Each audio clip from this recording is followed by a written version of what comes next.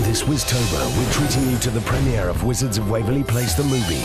Alex Russo wishes nothing more than to grow up, to live her own life, and accidentally casts a spell that means her parents have never even met.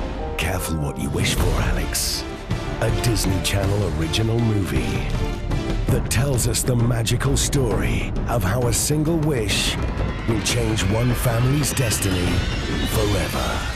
Selena Gomez, Jake T. Austin, and David Henrie star in Wizards of Waverly Place the movie, coming this Wiztober on Disney Channel.